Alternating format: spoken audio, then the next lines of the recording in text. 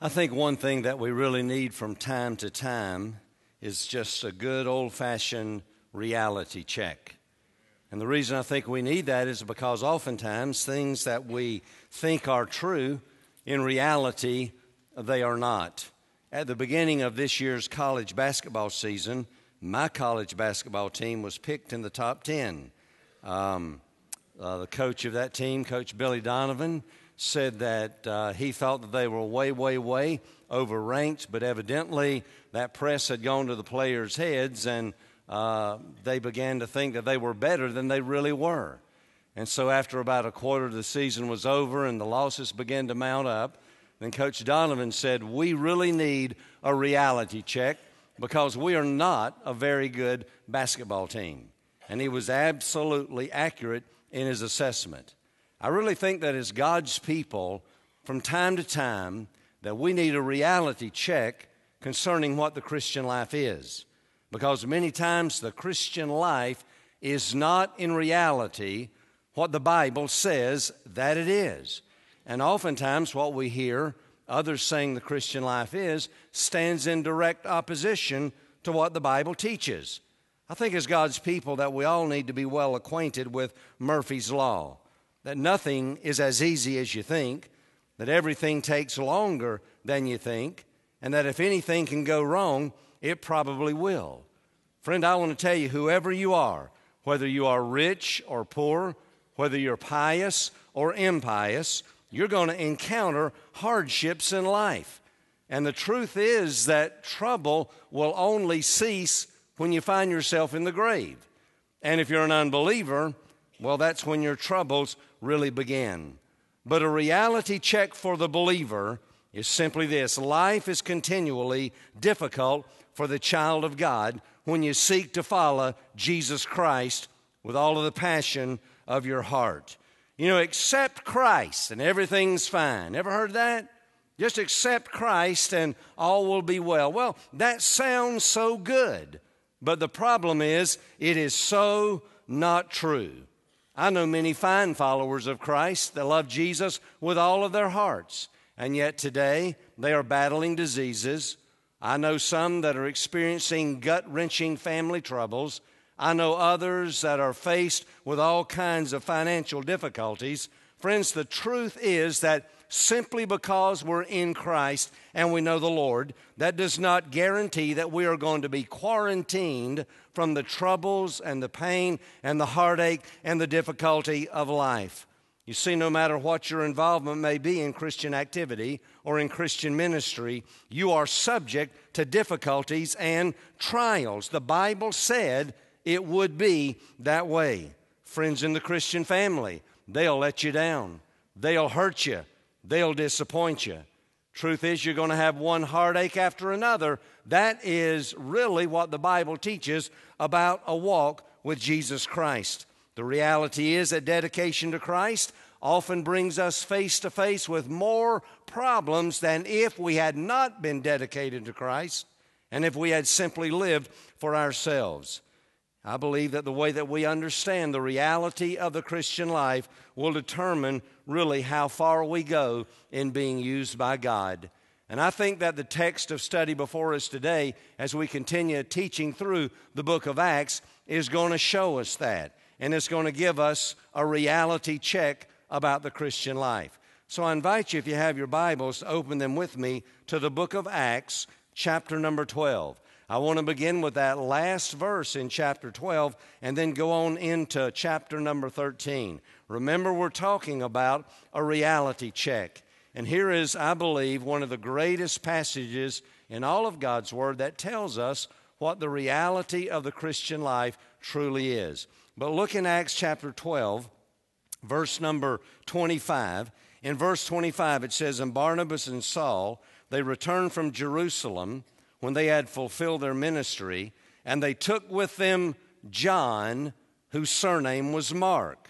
Now there was in the church that was at Antioch certain prophets and teachers, as Barnabas and Simeon, that was called Niger, Lucius of Cyrene, and Manaen, which had been brought up with Herod the Tetrarch and Saul. As they ministered to the Lord and fasted, the Holy Spirit said, Separate me, Barnabas and Saul, for the work whereunto I have called them. And when they had fasted and prayed and laid their hands on them, they sent them away. So they began, so they being sent forth by the Holy Spirit, they departed unto Seleucia, and from thence they sailed to Cyprus. And when they were at Salamis, they preached the word of God in the synagogues of the Jews. And they had also John to their minister. And when they had gone through the isle unto Paphos, they found a certain sorcerer, a false prophet, a Jew, whose name was Bar Jesus, which was the deputy of the country, Sergius Paulus, a prudent man, who called for Barnabas and Saul, and he desired to hear the word of God. But Elymas, the sorcerer, for so is his name by interpretation, he withstood them seeking to turn away the deputy from the faith. And then Saul, who is also called Paul, filled with the Holy Spirit, set his eyes on him and said, O full of all subtlety and mischief, thou child of the devil, thou enemy of all righteousness, wilt thou not cease to pervert the right ways of the Lord? And now, behold, the hand of the Lord is upon me, and thou uh, is upon thee, and thou shalt be blind, not seeing the sun for a season. And immediately there fell on him a mist and a darkness, and he went about seeking some to lead him by the hand. And then the deputy, when he saw what was done, he believed, being astonished at the doctrine or the word of the Lord. Now, when Paul and his company loosed from Paphos, they came to Perga in Pamphylia, and John departing from them, returned to Jerusalem. Now, there are about three or four things I want us to notice from the passage today.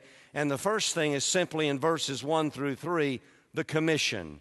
And the commission that we're talking about here is the commission of Saul and Barnabas, Saul, who would later become Paul, as missionaries that were going to be sent into the world proclaiming the good news of Jesus Christ.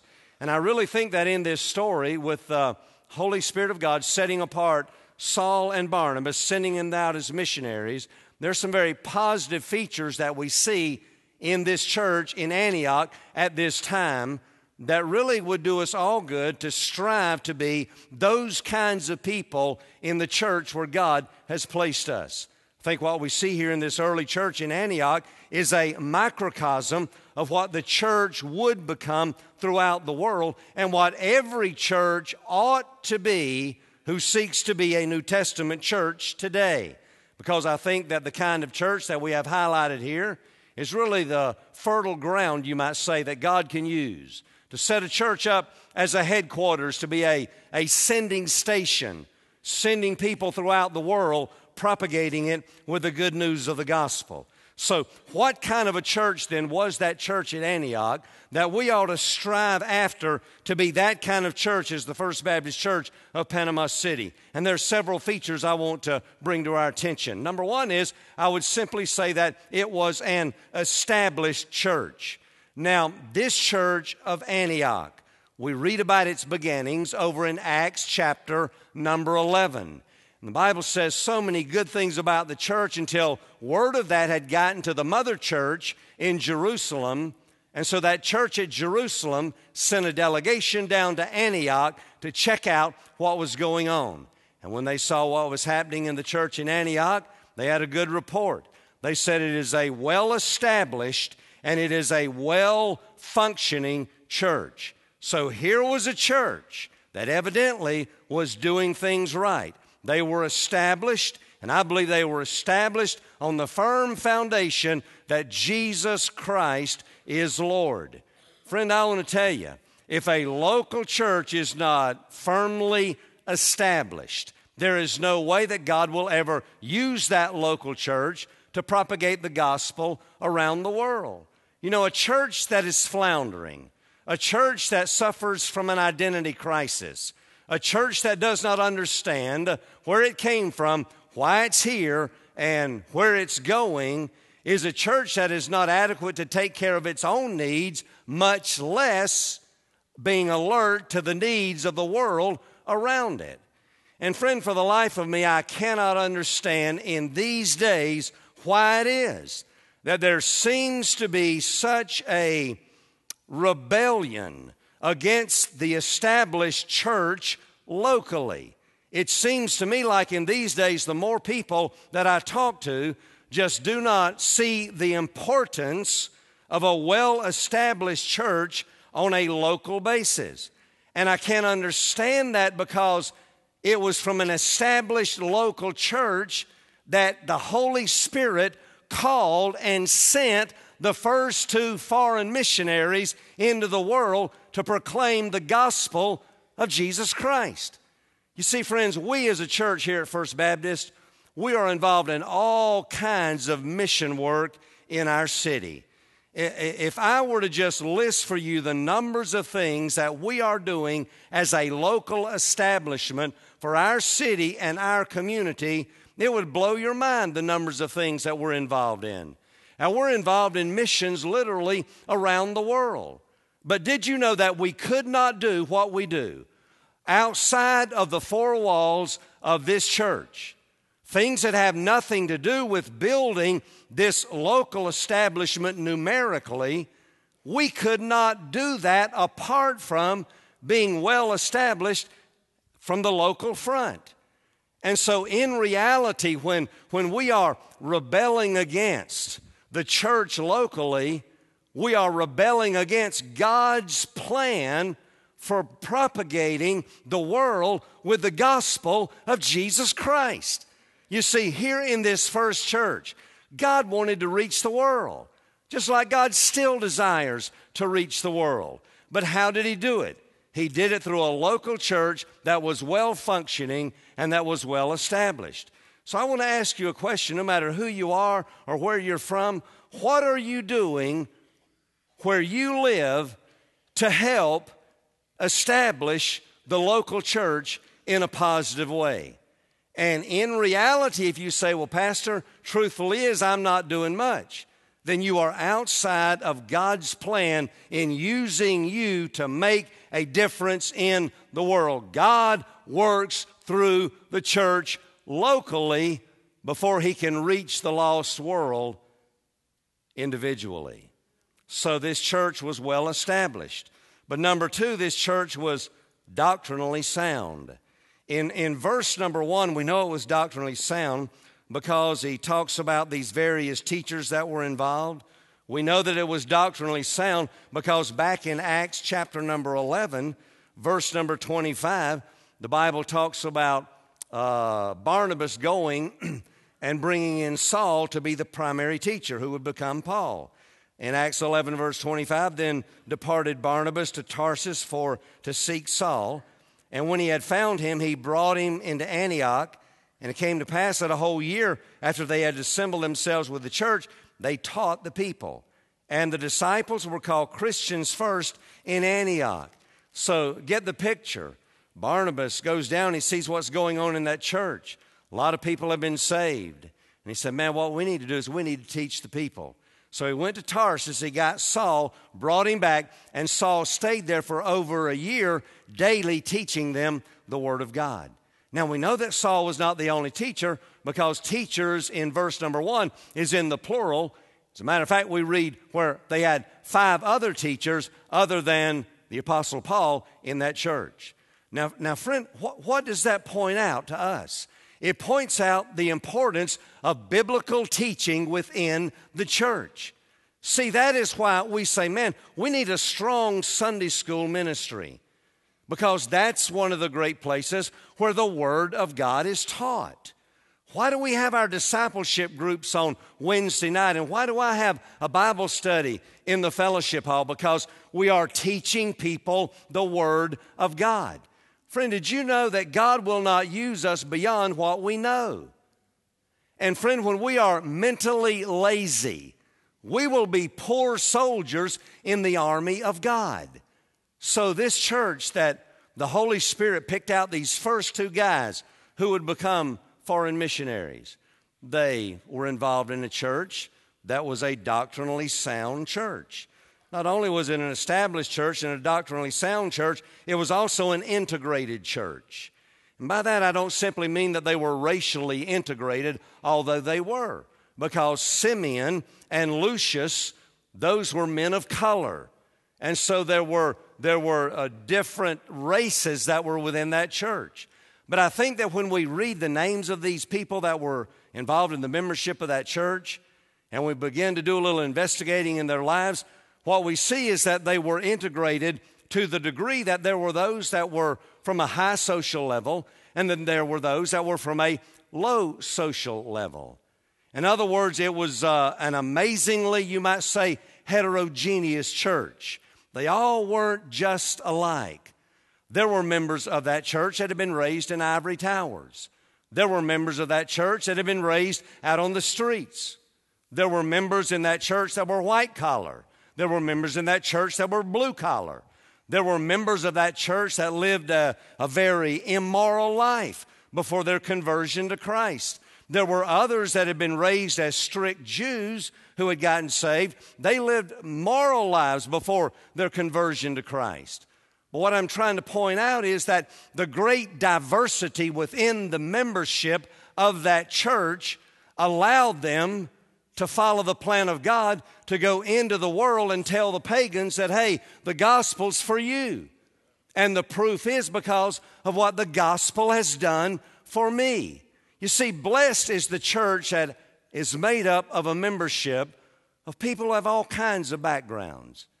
You know, you got someone like me that was a former druggie, and I can go to someone on drugs and I can say, hey, man, the gospel is for you.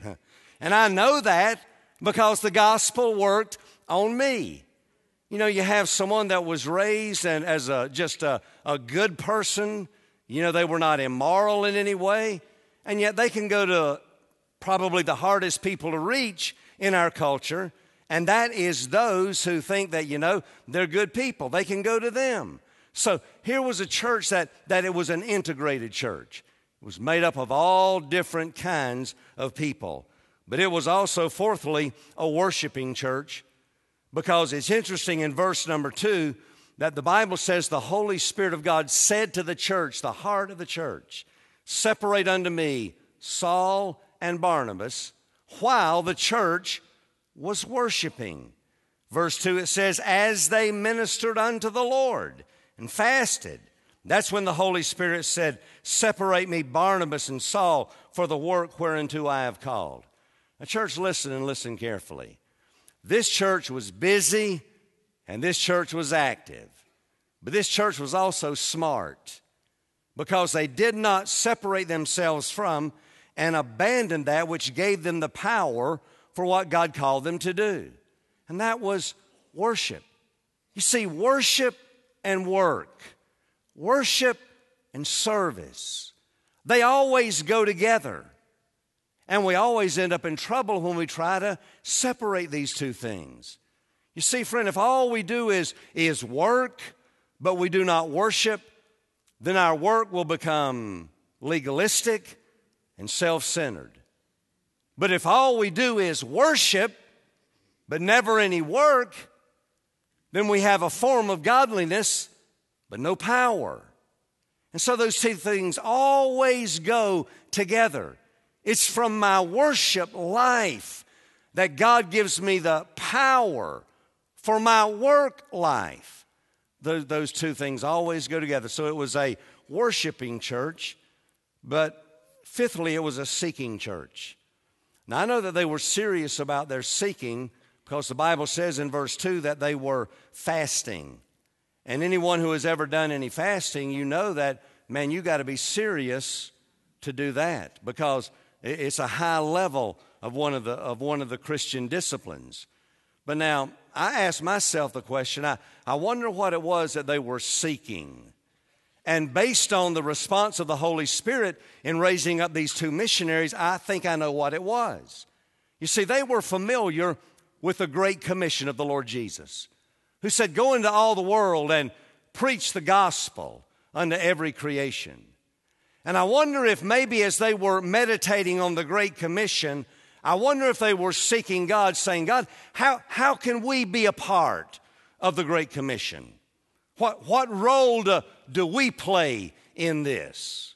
I think it's interesting that the church didn't just jump up and do something. They didn't just develop their own plan, but they were seeking the Lord. Lord, where do you want us as a church to be involved in your Great Commission? You know, I think that we can say that God's called us to work in Brazil, and God's called us to work in uh, Venezuela, and God's called us to work in Thailand, and God's called us to work in other places. Obviously, He's called us to work in Bay County. But, friend, here is what we need to know as a church. And we need to get a burden about this. God, where do you want us involved in being a part of fulfilling your great commission? But I think it's interesting when we read the story to find out what kind of people it is that God really uses and sends them out to do his mission work. It's as the church was fasting and praying. It is as the church was active in their own community and sharing the good news of the gospel. That's when the Holy Spirit worked and He called out people and He sent them out. You see, dear friends, God never takes idle Christians down from the shelf, dusts them off, and then gives them important work to do. God doesn't work that way. You see, our responsibility is if we have found ourselves in a state of inactivity, our responsibility is through repentance to dust off that dust of inactivity. And when we do that, then we place ourselves in a position where God can entrust us with important work. And I really feel in my heart of hearts, you know, I don't really have any tangible thing to tie this to, but I feel in my heart of hearts that there are so many folks in our fellowship that have just gotten secure and content you know, and everything's all right, and have just become inactive and have just kind of been set on the shelf. And I'm telling you today, this is a word from God. It's time for some of you to get off the shelf. Dust yourselves off from your inactivity. God has great work He wants to do through the life of our church, and He, he needs some of you in order to be able to, to do that, you see. So here was this church actively working, man, involved in serving and worshiping. And then the Lord moved and He set these apart to go to work for Him. But we see the, the commission, but secondly, we also see the mission. The mission. And here we're going to find the answer. What is the mission of the church? Verse 4 So they, being sent forth by the Holy Spirit, they departed into Seleucia, and from there they sailed to Cyprus. And when they were at Salamis, they preached the word of God in the synagogues of the Jews, and they had also John to be their minister. Now, I'm not going to take the time this morning to talk about every individual place where these missionaries went, but friend, it's interesting when you study these locations, what you will find out is that every place that they went, that it was a place that had great spiritual need. Every place they went, it was a place that was enshrouded with spiritual darkness. And so the Holy Spirit sent them to work in those places. And oh, by the way, did you know that that word missionary is a word that literally means sent? Now, now, now what, is, what is God's mission for this church? It was the same as God's mission for the church at Antioch. Friend, here is our mission. Our mission is to go to places where the name of Jesus isn't known and the God of the world is not worshiped. That's our mission. And you see, there are places like that all over the world. I, am so excited about what we're doing in Brazil with the Quilombolas who have never even heard the name of Jesus. God is not worshiped there. Pagan deities are worshiped there. And friend, can I tell you, there are pockets like that in Bay County as well, where the name of Jesus is not known and the God of the universe is not worshiped. I'm telling you, after having visited Panama City Beach, God is not worshiped out there. And we need to take the good news of the gospel to those places. We, have gotten so confused about what is our mission. Friend, our mission is not to provide a place that's kind of like a club that you can join, pay your dues, and experience the perks. That's not our mission. Our mission is not simply to provide a place where our kids can have fun and where our sons and daughters can get married and where our aged parents can have a funeral. That's not the mission of the church. The mission of the church is for the church to be such a place where there's such spiritual activity happening that the Holy Spirit of God is free to call out and send people into pockets of our world where the name of Jesus isn't known and the God of the universe is not worshiped. Friend, that is our mission. Amen? That's our mission. But, friend, I want to tell you what. When we are, uh, are observing and doing our mission, that brings me to the third point, which I believe that we're at. I, I think we're right there now as a local church. And the third point is the opposition. There is always opposition to the church that is on mission. There's always opposition. Satan will see to it. I want us to notice two things about this opposition down in verses 6 through 12. And number one is the cause. We see the cause of this opposition. Look at, look, look at verses 6 through 8. And when, when they had gone through the isle unto Paphos, they found a certain sorcerer, a false prophet, a Jew, whose name was Bar Jesus, which was with the deputy of the country, who was Sergius Paulus, a prudent man, intelligent man, who called for Barnabas and Saul, and he desired to hear the word of God. But Elymas the sorcerer, for so is his name by interpretation, he withstood them, seeking to turn away the deputy from the faith. Now, get the story. When this trio of, of, of uh, Barnabas and Saul and John Mark, when they, when they went to the, the capital of the island of Cyprus, which is referred to here as Paphos, when they got there, they encountered two men. One was Sergius Paulus. Sergius Paulus was the Roman governor of the island of Cyprus. And the Bible says that there was something I believe that the Spirit of God had been doing in his heart. You know, he was a little sick and weary of all of the religious stuff that he saw happening around him. He was tired of the, of the idolatry. And I think that he was seeking a deeper and a more genuine spiritual reality.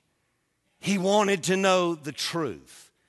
And I believe that that accounts for the second guy that we encounter that was in Sergius's life his name was Elymas, and he was nicknamed Bar Jesus. And that nickname Bar Jesus literally means son of Jesus or son of salvation. And I believe that he was nicknamed that because this guy was out proclaiming that he was a spiritual heir of Jesus Christ, and that was an explanation for all of these mighty powers that he had. He was a sorcerer, and he had immense power. But let me tell you who the guy really was. The guy was a demonic phony. And the guy was a guy who wielded great influence over Sergius Paulus that the missionaries were trying to reach with the gospel of Jesus Christ. And therefore, he opposed them. He fought against them because he didn't want to see Sergius be set free from the darkness. Friend, I want to tell you here's what we learn there's always a conflict when the light invades the darkness. There's always a spiritual conflict. Friend, I want to tell you something about leading people out of darkness.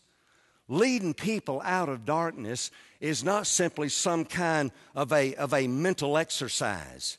It is not simply some kind of uh, uh, of having a, a slick sales pitch that we can use on somebody. Friend, leading people out of the darkness into the light is a fight, a battle. It is a war against the forces of evil. That's what was going on here. John Mark, Barnabas, and Saul, they were in a bare knuckle heart thumping, listen, fight with the forces of evil. Because they were, they were fighting for the soul of Sergius Paulus. Friend, I want to tell you, when, when we engage into the activity of mission work, we are a church on mission. We are a church about reaching people that have never heard the gospel of Jesus Christ and do not worship God. When we involve ourselves as a church in that kind of a mission, we are going to face the opposition of the enemy who does not want us to rescue those who are living within his kingdom of darkness. Friends, it is always that way. So we see the cause of the opposition. Friend, I want to give you a reality check today. And the reality check is the life for the serious follower of Jesus Christ is difficult. Friend, Corrie Ten Boom never would have ended up in the concentration camp at Ravensbrück had she and her family not decided and chose to follow Jesus Christ by sheltering fellow human beings created in the image of God from the evils of Hitler's regime. It was because they chose to follow Christ. The difficulties followed. You're listening, say amen. Friend, there's a cost to follow Jesus. And if you don't want to yield to the cost, I'm telling you, don't come to Him. There's a cost in following Jesus. Jesus said that a man must deny himself, take up his cross, and follow Him. Jesus said, No man that has put his hand to the plow and looks back is fit for the kingdom of God.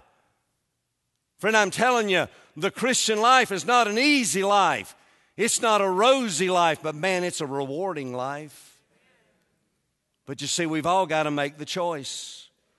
Never share your faith, and you'll never look like a fool. Never stand for righteousness on a social issue, and you'll never be rejected. Never walk out of a movie theater because of offensive language, and you'll never be called a prude. Never reach out to a needy person, and you'll never be taken advantage of. Never give your heart, and it'll never be broken. Never go to Cyprus, and you'll never be subjected to satanic confrontation. Never tithe your income and give to mission offerings, and you'll never be challenged to sacrifice. But neither will you ever know the joy and the thrill and the excitement of walking with the King of Kings and Lord of Lords. Friend, it's not easy, but it's worth it. It's worth it. It's worth it. No, it's not easy. So we see the cause, but then we see, I love this, we see the courage in the midst of the opposition. Verse 9, then Saul, who is, here's where his name is changed, is also called Paul. He was filled with the Holy Spirit, set his eyes on him. I like that. Friends, listen. We don't have to cower down in fear of the opposition because the Apostle Paul said, as believers, we are more than conquerors through him who loved us. Greater is he that is in us than he that is in the world. We don't have to fear opposition. Paul didn't. Verse number 10, and he said, Oh, uh, oh, full of subtlety and all mischief, you child of the devil, you enemy of all, un, uh, of all righteousness, will you not cease to pervert the ways of the Lord? And by the way, Paul didn't just let him get away with a little tongue lashing here. Verse 9, Paul said to him, And now behold, the hand of the Lord is upon you. You're going to be blind, not seeing the sun for a season.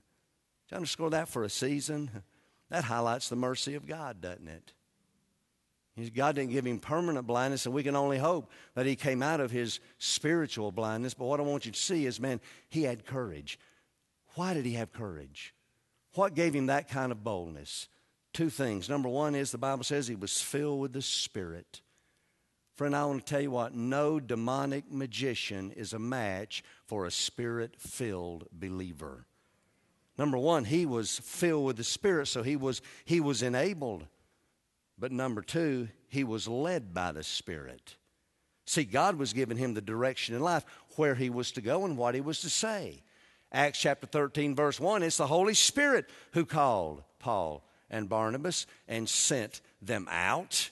He was following the orders of Almighty God. Why in the world should he be afraid? Unlike that famous poem that was written by William Ernest Henley, who talked about the guy that was the master of his own fate and the captain of his own soul. Friend, Paul wasn't like that, neither was Barnabas. They were not the masters of their fate nor the captains of their souls. God was. And when they got on that boat, God was the wind that was driving their sails.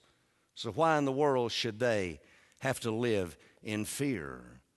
Friend, they didn't have to live in fear. When we see ourselves as God's ambassadors, no opposition will deter us from speaking for the King. See, we're the ambassadors of God, aren't we? According to the Apostle Paul in Romans chapter number 5. We're his ambassadors, sent on a mission to speak for him. So we see the commission, we see the mission, we see the opposition, but then we see the desertion. The desertion. Look down at verse number 13. Verse 13 says, Now when Paul and his company, when they loosed from Paphos, they came to Perga in Pamphylia. And John Mark, who was with them, he was the first missionary intern. The Bible says he departed from them and he went back to Jerusalem. Now, friend, if you don't think that this was a serious thing, over in chapter 15, Paul called him a deserter. A deserter wouldn't allow him back on the mission team. Paul was really upset with him for doing that. He gave in, he gave up. He just quit on the job. When the heat was too much, he just got out of the kitchen. He said, I'm not going to do this. Gave up, gave in, rather than going on. I want you to hear me and hear me well. There is not a saved person in this service today who is not susceptible to turning in your resignation for Christian service. Not one. Not me, Pastor. Not me. Not me. I'm a strong Christian, so was Mark. Not me. I'm a leader, so was Mark. Not me. I'm surrounded by strong Christian friends that will encourage me for heaven's sake. Mark was surrounded by Paul. And he quit. Why did he quit? Why did he give in? Why did he give up? Why did he go back home to mama? Why? Why? Why? I think it's because he did not understand the reality of the Christian life. That much of it is lived in a war zone. And when war broke out, he just walked off the battlefield. You see? The enemy knows he can defeat us like that. That's all he will experience is opposition. He knows it doesn't take much in order to defeat us. Now, friend, I want to be as brutally honest as I possibly can. You can quit. You can turn in your resignation for Christian service. You can come and just sit on a Sunday morning, and that's pretty much about all that you do for the glory of God. You can do that. But I'm going to tell you, God's work is going to go on. You can do that, but God will just replace you with somebody else. And how sad that is. This mission work went on without John Mark. And you see, it'll go on without you. But, dear friend, you'll regret it.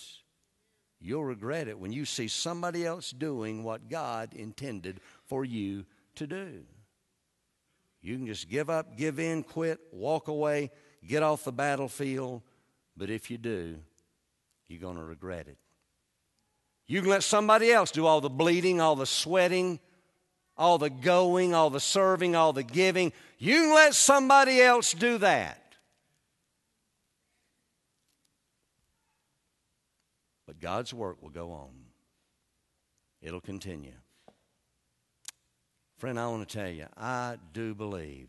And, and, and this is what is so serious about this God will not make us do anything. He won't. He didn't make Mark stay the task. He let him desert, let him walk away. The Lord will let us do that. But I believe that if we do, at the second coming or the rapture of the church, I think we'll regret it. Friend, I want to tell you do you have a verse in the Bible and you read it and you say, man, that one bothers me? That one scares me. I, I don't want to think about that one. Is there a verse anywhere in the Bible that when you read it, you say, wow, I wish that one wasn't there? I want to tell you, 1 John chapter 2, verse 28 is a verse like that for me. Listen to this verse. I want to just I want to read it to you from the Bible so you'll know I'm not making this up. John says, And now, little children, abide in him, stay close to him, stay faithful to him, abide in him, so that when he shall appear, we may have confidence and not be ashamed before him in his coming.